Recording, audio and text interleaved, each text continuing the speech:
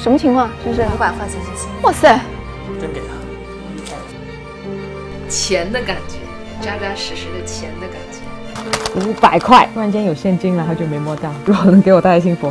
现在拿着这五百块钱就非常幸福！不会一会儿要回去吧？但是干什么呢？